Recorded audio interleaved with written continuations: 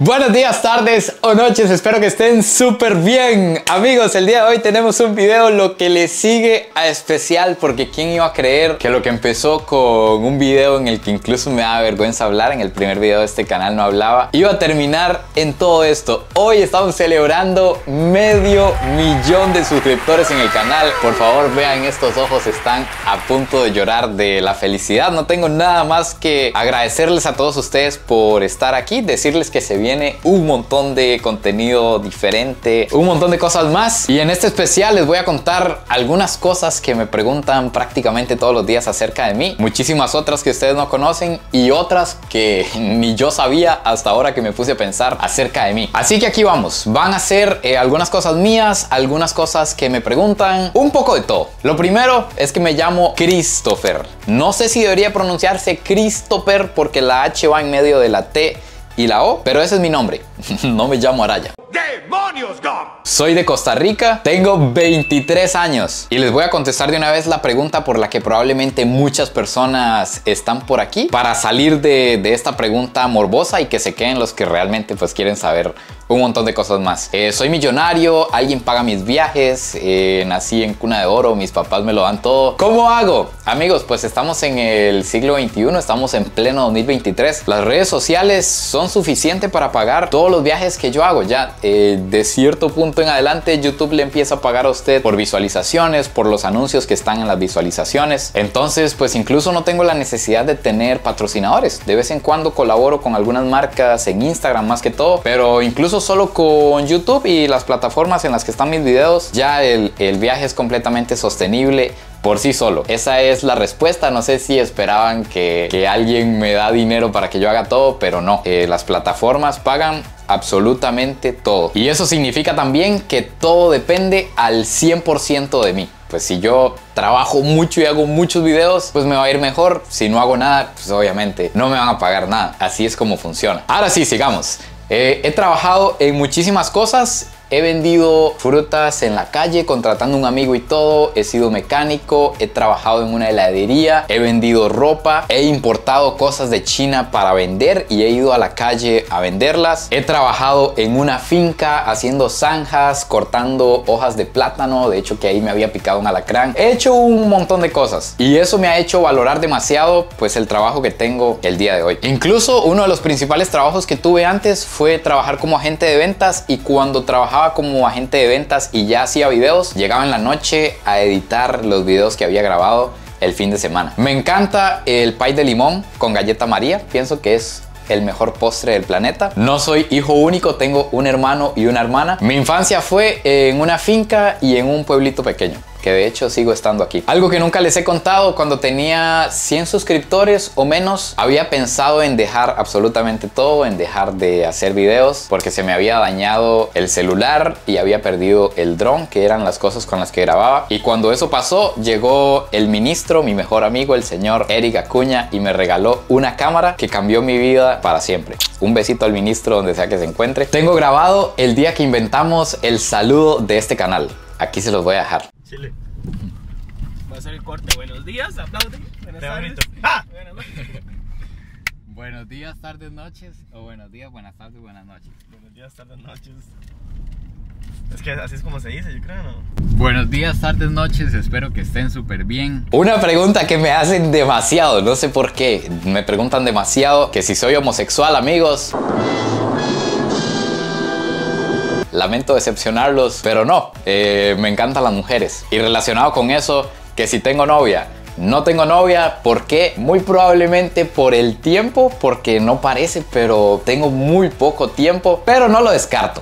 En cualquier momento uno se enamora. Me gustan mucho las mezclas raras como por ejemplo doritos con helados o ponerle mayonesa casera a una sopa. Mido un metro 71. Me gusta en mi vida diaria grabar un montón de cosas para que me queden esos recuerdos. En mi vida diaria soy distraído y fuera de YouTube incluso soy un poco tímido, un poco introvertido. Eso es algo que me pasa cuando me topo con gente en la calle que, que no sé, me, me dicen que les da pena saludarme porque yo voy muy serio en la calle y es que, eh, no sé, soy soy un poco introvertido fuera de esto. Es muy diferente hablarle aquí a una cámara en mi cuarto que estar allá afuera. Pero cuando me los encuentro en la calle, la verdad es que me hace muy feliz conversar con ustedes y ver qué es lo que les gusta, qué les llama la atención de los videos. Así que sin dudarlo, si me ven por ahí, eh, lleguen a saludar de una. Casi muero ahogado en el río San Juan de Nicaragua cuando tenía 6 años. El río estaba lleno, eh, yo me desperté muy temprano, mis papás no se habían despertado, no había nadie despierto y yo me fui a pescar y me fui al agua y quedé agarrado de una raíz de un árbol.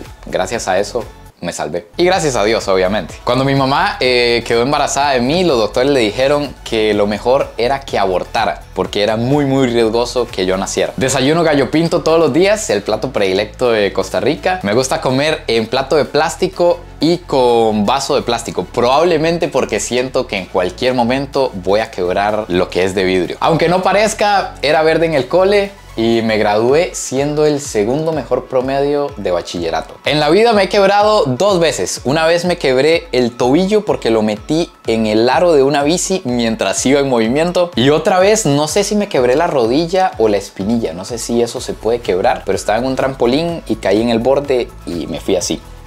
y me enyesaron toda, toda la pierna, es lo que recuerdo. Cuando era pequeño le tenía miedo a Chucky y siempre que entraba al cuarto tenía que revisar cada rincón para ver que no estuviera y poder dormir en paz. Incluso revisaba abajo de la cama siempre. Odio las cucarachas y creo que por el hecho de odiarlas las atraigo. Me ha mordido una cucaracha. Odio, odio, odio la suciedad y el desorden. No puedo con eso. Me gusta la fiesta para que inviten. Fui a dos universidades diferentes, a dos carreras diferentes. Estudié ingeniería en software y también estudié administración de empresas. Y las dos las dejé botadas porque quería hacer negocios y ninguno de los dos negocios por los que dejé las carreras funcionaron. Pobre cosita fea. Pero en las carreras me iba muy bien. Aprendí a grabar y a editar completamente solo viendo videos y cursos en internet. En algún tiempo aprendí a invertir en bolsa y gané muchísimo dinero y después de un tiempo lo perdí absolutamente todo. Pero no era una red piramidal ni nada raro. Invertía directamente en la bolsa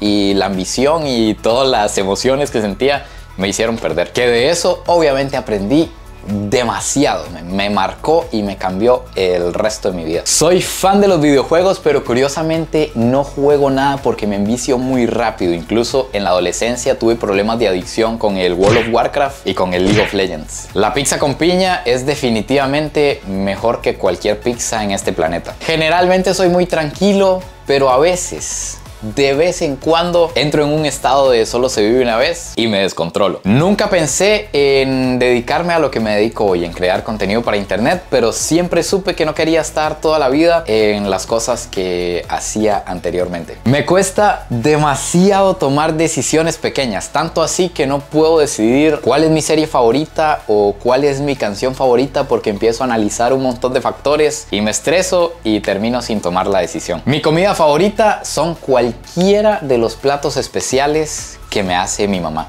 Cualquiera de todos. Aunque no parezca, me encanta estar en la casa. Me tomo demasiado en serio cada contenido que hago. Y a veces me cuesta lidiar con eso. Incluso me he llegado a enfermar planeando alguna gira. Nunca he ido a un concierto grande. Como podrán ver, me encanta One Piece. Tengo las dos rodillas llenas de cicatrices de mi infancia y toda la espinilla llena de alambres y cortadas y quemadas porque andaba demasiado en moto. Mis colores favoritos son el blanco y el negro. Idear las giras que hago para crear contenido me toma semanas. Me he dado cuenta que soy adicto al trabajo. También que no puedo estar sin hacer algo. Incluso aunque esté de vacaciones, tengo que estar haciendo alguna actividad, ya sea nadando en la piscina o corriendo en la playa o metido en el mar. Pero me estreso si no hago nada. Me aterra entrar en un lago, en un río o en el mar sin poder ver lo que hay en el fondo. Esa sensación de sus piecillos así simplemente nadando en medio de la nada y pensar que cualquier cosa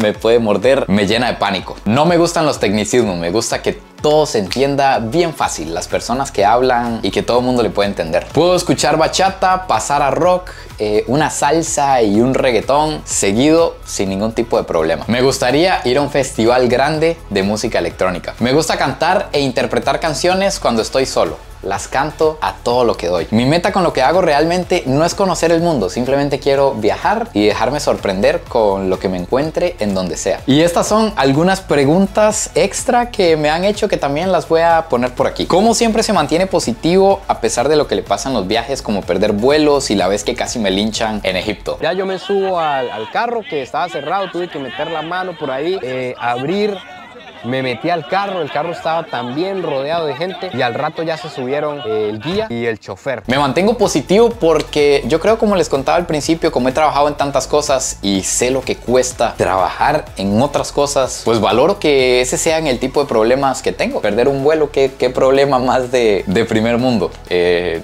no creo que tenga que, que por eso. Que si siempre ando solo, Efectivamente, casi siempre cuando salgo del país ando solo. Araya Vlogs es un personaje o siempre es así de alegre y positivo. Eh, pues obviamente en mi vida normal no ando siempre tan tan alegre como, como en los videos, porque siempre hay altos y bajos y hay de todo. Eh, la actitud yo creo que sí, siempre es la misma, solo que como les decía, soy un poco más tímido, un poco más introvertido en mi vida normal, cotidiana. Y ahora dos preguntas muy muy importantes que me hacen siempre, que se repiten demasiado. La primera, ¿cómo hice económicamente para empezar a viajar tanto? Yo creo que esto le puede servir a alguien que, quiere hacer lo mismo. Eh, tengo que decirles que en un principio no fue siempre como, como ustedes ven todo. En un principio yo viajaba en el país, viajaba a lugares gratis, iba con mis amigos, entonces dividíamos lo que había que pagar de gasolina entre todos, hacíamos comida en la casa y la llevábamos en una hielera para ahorrarnos algunos tiempos de comida. Hacíamos los viajes lo más barato posibles y, y los disfrutábamos como ustedes no tienen una idea, no saben los recuerdos que yo guardo de esa época, una de las mejores de mi vida. Fue pura, pura felicidad. Enfocados 100% en disfrutar, no en lo que nos faltaba, ni mucho menos. Y la última pregunta, ¿qué hago además de YouTube? Tengo que decirles que mi trabajo y mi ingreso principal es definitivamente YouTube, las plataformas, el crear contenido. Pero como siempre me han gustado los negocios y hacer enredos y hacer cosas y siempre he estado tratando eh, en un montón de cosas, el mismo YouTube pues me ha permitido hacer un poco de bienes raíces, alguna empresa por ahí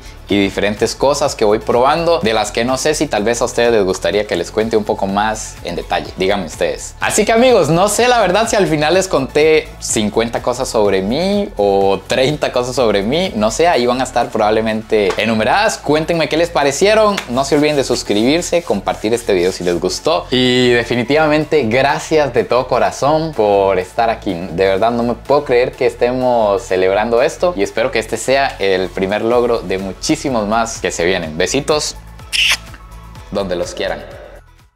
Buenos días, tardes o noches. Espero que estén súper bien, amigos. Vamos a ir a Catarata la Vieja. Vamos a hacer snorkeling en toda esta zona. A ver qué animales encontramos por aquí. Amigos, ahora aquí estamos en el volcán Pacaya, que es un volcán activo y estamos viendo ríos de lava. Amigos, aquí estamos en el primer parque nacional que tuvo Nicaragua. En este momento estamos llegando a la Gran Plaza, el lugar principal de Tikal.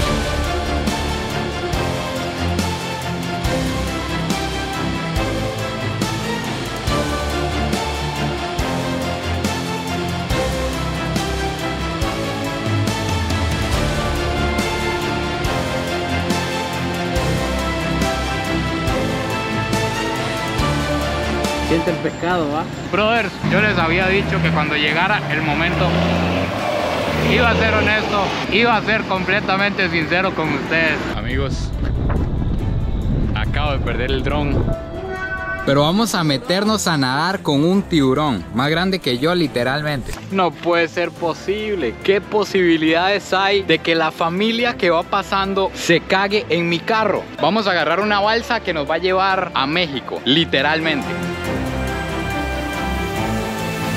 Amigos, el día de hoy estamos en nada más y nada menos que en la India. Amigos, no todos los días se tiene la oportunidad de ver el atardecer desde el edificio más alto del planeta. Esto que tienen aquí es el Doha Downtown. Me siento demasiado mal, ni siquiera me puedo levantar Ahora aquí en uno de los paisajes más lindos que he visto en toda mi vida, amigos. Amigos, ya sabemos por qué se llama Gifiti. Efectivamente, Gifiti en garífuna significa amargo. Por ahora lo que sé es que definitivamente no voy a poder volar. Y a las 8 de la noche tenemos este sol quemándome la cara.